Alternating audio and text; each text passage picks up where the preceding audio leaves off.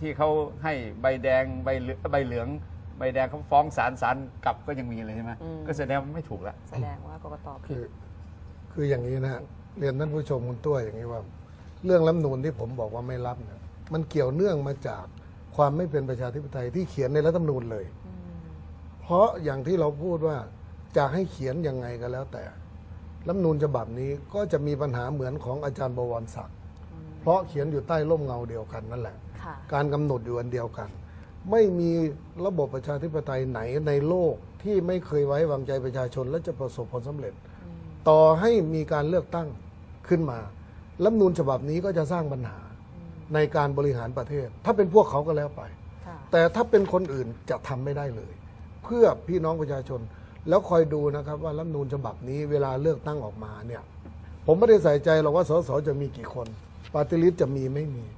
แต่ภาพเลือกตั้งที่ออกมาเนี่ยมันจะเห็นได้ชัดว่าพรรคที่ได้คะแนนเขตเยอะๆอาจจะได้เสียอาจจะได้เป็นเสียงข้างน้อยก็ได้ เพราะอะไรฮะเพราะพรรคที่ได้คะแนนเยอะบางกลุ่ม ก็จะมีแค่สามสี่สิบเปอร์เซ็นต์แต่พรรคที่รุมกันเนี่ยเจ็ดแปดพรรคข้างหลังเนี่ยได้หกสิบเจ็ดสิบเปอร์เซ็นต์คะแนนเนี่ยแล้วก็จะไปเทอยู่กับเทอยู่กับคะแนนปาร์ตี้ลิสต์นะครับ เพราะฉะนั้นเรื่องนี้เนี่ยแล้วบวกไปบวกกับสวสวเลือกตั้งทางอ้อมเขาบอกว่าพูดให้เท่ อย่างที่ท่านเชิดใจพูดค่อยไปค่อยมา จนคนเขียนก็อธิบายไม่ถูกแล้วกันล่ะค่ะ นะฮะคนคนผมเห็นโฆษกคุณอุดมอ่านปุ๊บแกก็งง ผมก็งง ผมฟังแล้วก็งงที่ปัญหามันคือว่ารัฐธรรมนูนเนี่ย เวลาทำอะไร เอาสมมุติว่า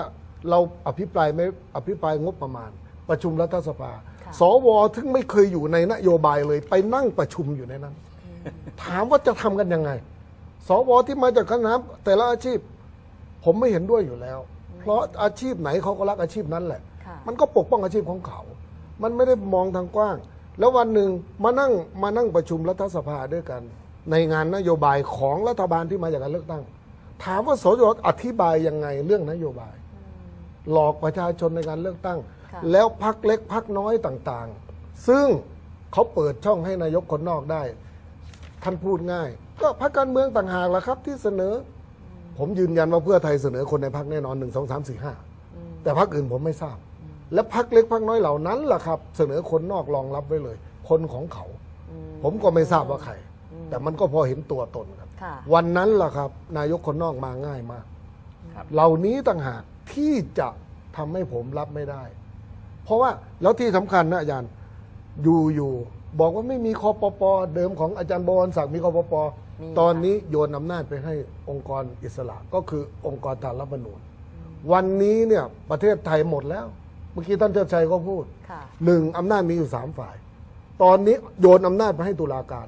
ศาลรัฐธรรมนูญเป็นคนตัดสินทั้งหมดองค์กรอิสระตัดสิน เป็นอำนาจที่สี่แล้วผู้ที่ถอดถอนสารรัฐธรรมนูญได้กลายเป็นศาลฎีกา สุดท้ายระบบตุลาการเป็นผู้ตัดสินประเทศ โดยที่ไม่การเลือกตั้งไม่มีประโยชน์อะไรเลยในการบริหาร เรื่องนี้ต่างหากที่ผมรับไม่ได้ ไม่ใช่ว่าปลีกย่อยแบบคุณอภิสิทธิ์เรื่องใหญ่คือเป็นรัฐธรรมนูญที่ไม่เป็นประชาธิปไตย เรื่องนี้เรารับไม่ได้ แล้วผมปฏิเสธที่จะรับ ครับ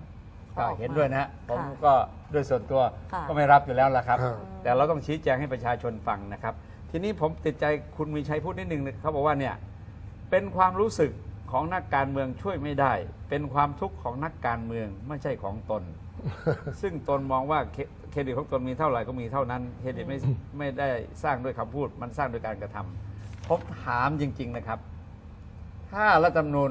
ที่ไม่เป็นประชาธิปไตยออกมาเป็นอย่างนี้นะฮะนักการเมืองเดือดร้อนไหมไม่เดือดร้อน ไม่ต้องเลือกตั้งก็ได้ค่ะอยากทำก็ทำไปที่แต่ประเทศเจ๊งนะครับ ไม่มีใครเชื่อถือค่ะ เป็นเอ่อประเทศด้อยพัฒนา ย้อนอีก 10 ปีจะเป็นประเทศด้อยพัฒนาเลย ซึ่งตอนนี้ก็ด้อยอยู่แล้วใช้แต่เขาใช้คำว่ากำลังพัฒนานะครับ แล้วผลเสียหายมันจะเกิดแก่ใครฮะเกิดต่อบ้านเมือง ต่อประเทศ ต่อประชาชน เพราะว่าสิ่งที่เลวร้ายก็จะเกิดขึ้น ดูง่าย ๆ ก็ดูพม่าที่เห็นไหมฮะรัฐธรรมนูญไม่เป็นประชาธิปไตยเจริญไหมค่ะที่ผ่านมาแล้วเลือกไปมีประโยชน์ไหมไม่มีประโยชน์เพ ราะฉะนั้นน่ะบรรดาสสที่อยากจะเลือกตั้งนะครับค่ะมันมันไม่ได้เกิดประโยชน์กับบ้านเมืองเลยแล้วจะสร้างความเลวร้ายให้ เกิดความขัดแย้งเยอะแยะ ดูเพื่อนบ้านเราเป็นตัวอย่าง ผมยังเรียนไปยังท่านประยุทธ์ท่านประยุทธ์ในท่านก็ดีอย่างนะฮะขเขาวจะแล้วดรบวรศักดิ์ร่างกฎหมายมาคว่ำซะเลย เพราะว่าก่อนจะมีเรื่องถูกไหมครับ อันนี้ก็เหมือนกันท่านมีชัยทำไปทำมานี่เดี๋ยวจะมีเรื่องเหมือนกันนะฮะคนเนี่ยเขาว่าไปว่ามาไปไปมานี่นะครับอืม ท่านสมคิดยังบอกว่ามาตราสามสิบห้ามันกำกับไว้อยู่ค่ะเขาก็ก็ลงที่ท่านประยุทธ์อีกอะอืมเพราะฉะนั้นท่านประยุทธ์นะครับ ผมว่าเนี่ยท่านปล่อยหมัดใส่ดรเอ้ยคุณมีชัยเนี่ยแหละ ค่ะ ไม่ต้องให้ร่างเนี่ยมันผ่านหรอก ตั้งกรรมการชุดใหม่ หรือประกาศใช้รัฐธรรมนูญที่เป็นประชาธิปไตย อืม เสียทีนะครับ เอาปี 50เนี่ยถ้าปี 40 ก็ได้ 50นะเขาฉีกไงฮะค่ะเนี่ยอายเขาเอาปี 40ดีกว่า 40 มาปรับใช้แล้วก็มีบทเฉพาะกันอะไรก็ว่ากันไป อืม นี่แหละครับ ผมบอกว่าเนี่ยนักการเมืองนี่ไม่ได้เสียหายนะครับ ผมผมก็เป็นนักการเมืองนะ เพราะว่ามาค่ะสมัครสอสอแล้วเนี่ยต้องยอมรับค่ะผมก็ไม่เห็นเดือดร้อนเลยอืมถูกไหมครับ แต่เราสงสารประชาชนครับค่ะบ้านเมืองเลยไม่เดินไปถึงไหนสักที วนไปวนมาอยู่อย่างเงี้ยแล้วตัวอย่างของพม่านี่เป็นตัวอย่างที่ดีที่สุดเลยนะครับ ที่เราต้องศึกษาแล้วอย่าทำตามนะครับอืม แต่ในตอนนี้ดูเหมือนว่าเราจะกลายเป็นว่าถอดโมเดลของพม่ากันมา ค่อนข้างที่จะคล้ายคลึงกันเหลือเกินนะคะ แทบจะเหมือนกันเด๊ะเลยก็อาจจะเป็นได้ด้วยซ้ำความรู้สึกเนี่ยค่ะในตอนนี้ทั้งสองท่านความเป็นไปได้ที่การทำประชามติ ซึ่งเราก็ น่าจะเข้าสู่ในห้องเวลาของการทำประชามติแน่ๆ คิดว่านะคะความรู้สึกของทั้งสองท่านเนี่ยการทำประชามติจะผ่านหรือไม่ผ่านแบบไหนเปอร์เซ็นต์สูงมากกว่ากันคะท่านสมคิดค่ะ คือถ้ามองอย่างนี้นะครับ เรียนท่านผู้ชมว่าเรื่องรัฐธรรมนูนแบบนี้อย่างที่ท่านเชิดชัยพูดกับผมพูดเนี่ยว่า เลือกตั้งไปไม่มีประโยชน์ และสุดท้ายทำให้การเมืองพรรคการเมืองอ่อนแอแล้วรัฐบาลที่เขาไปบริหารก็อ่อนแอสุดท้ายสังคมก็มองว่านักการเมืองช่วย นักการเมืองเลวร้าย เพราะทำอะไรก็ไม่สำเร็จสักที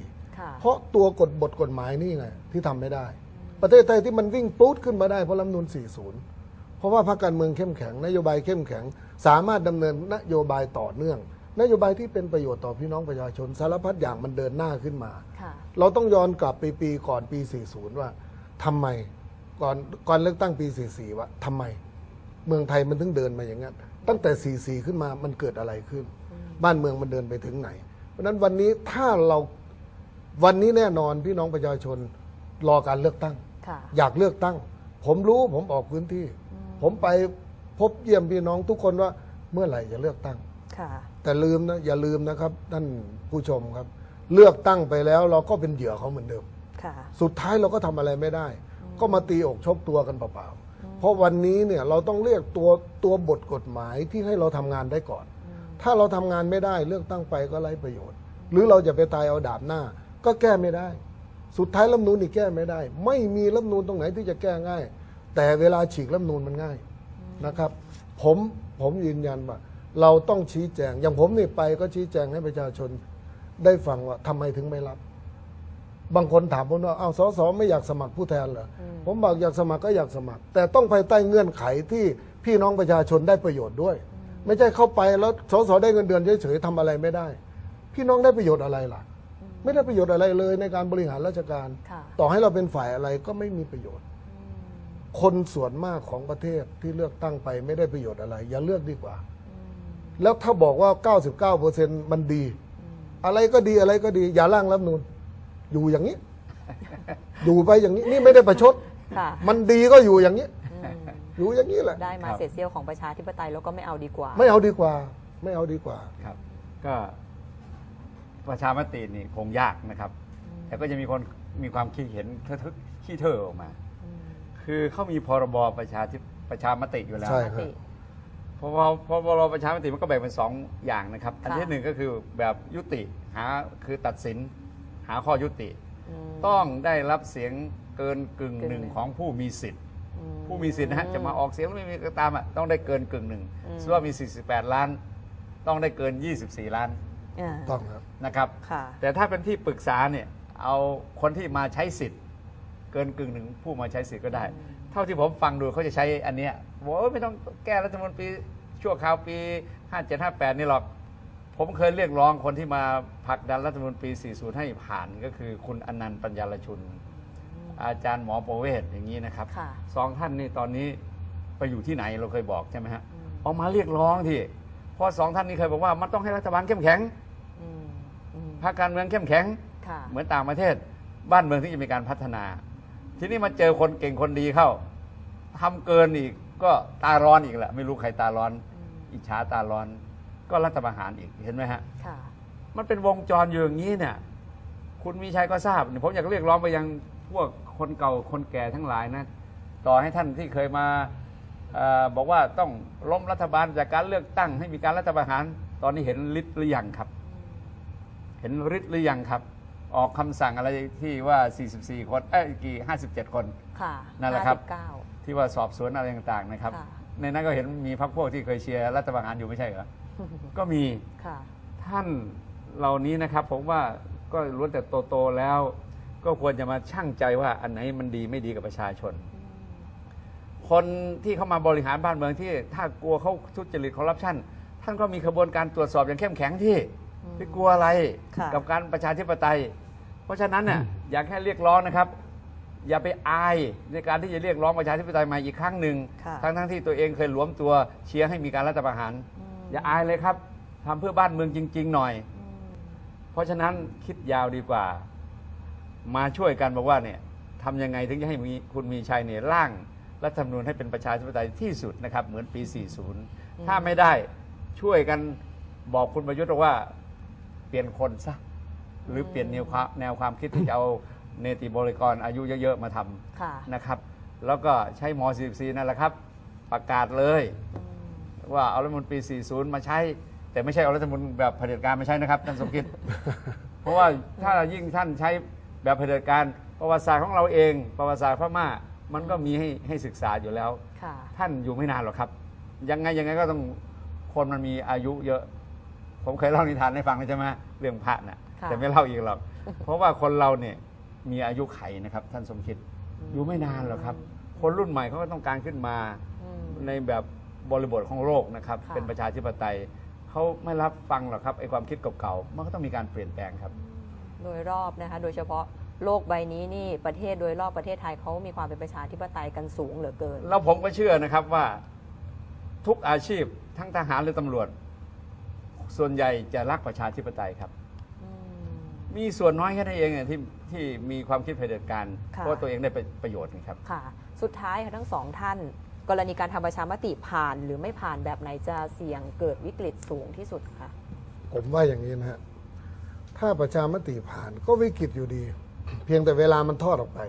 เรื่องเรื่องของเออการที่จะเลือกตั้ง ผมว่าไม่ผ่านดีที่สุด เพื่อที่จะให้คอสชเนี่ยไปจัดการสมัย ว่าสังคมต้องการยังไง แต่อย่างไรก็ประชาธิปติแน่ค่ะๆแล้วท่านมีชัยก็บอกว่าวันที่ 11ถึง17 นี้รับรับฟังร่างค่ะเอ่อรับฟังเอ่อคนเสนออมแต่ผมเชื่อว่าท่านไม่แก้หรอก เพราะว่าท่านมีธงอยู่แล้ว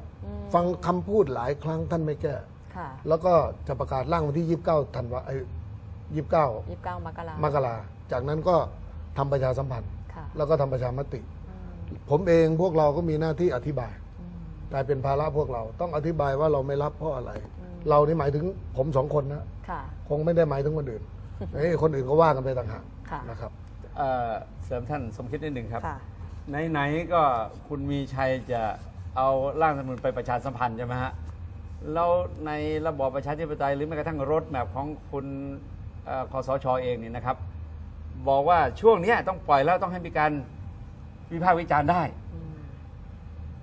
ให้ยกเลิกได้ไหมครับอืมเรียกร้องเลยนะครับ คุณอภิสิทธิ์เอ๊ะก็เคยเรียกร้องมาแล้วค่ะคือให้พักการเมืองประชุมได้ค่ะดำเนินกิจกรรม โดยเฉพาะเรื่องรัฐธรรมนูญนี้ได้อืมมันถึงจะได้ข้อคิดเห็นอย่างแท้จริงค่ะเพราะว่าในการทำประชามตินี่ โดยพรบเองก็จะบอกว่าต้องเปิดโอกาสให้มีการดีเบตกันอืมดีและเสียหรือข้ออมความคิดเห็นแตกต่างกันค่ะมันถึงจะเรียกว่าประชาธิปไตย ถ้าท่านยังมีคง คำสั่งคอสช ห้ามนั่นห้ามนี้เนี่ย อืม มันไม่มีประโยชน์แล้วครับนะครับ แล้วก็ชาวโลกเขาก็รู้อยู่แล้ว ค่ะ เพราะฉะนั้นท่านประยุทธ์นะครับ เรียกร้องค่ะ ให้ยกเลิกประกาศที่เกี่ยวข้องกับการแสดงความคิดเห็นนะฮะการค่ะประชุมของพรรคการเมือง ขอให้เขาเปิดช่องให้เขาได้แสดงความคิดเห็นครับ ก็อยากจะรู้เหมือนกันว่าวันที่ 17 ที่จะถึงนี้นะคะ ที่เปิดรับฟังความคิดเห็นจากทุก ๆ ฝ่ายเนี่ยถ้ามีฝ่ายหนึ่งฝ่ายใดนะคะ เรียกร้องให้ยกเลิกไปซะสำหรับรัฐธรรมนูญที่นายมีชัยร่างขึ้นมา รอดูซิว่าจะกล้าหรือไม่ จะกล้ายกเลิกหรือไม่แต่ว่าเชื่อเถอะค่ะ หมดเวลาแล้วนะคะสำหรับรายการคิดรอบด้านประจำวันนี้ขอบคุณแขกรับเชิญทั้งสองท่านเป็นอย่างสูงค่ะขอบพระคุณค่ะจริงครับวันนี้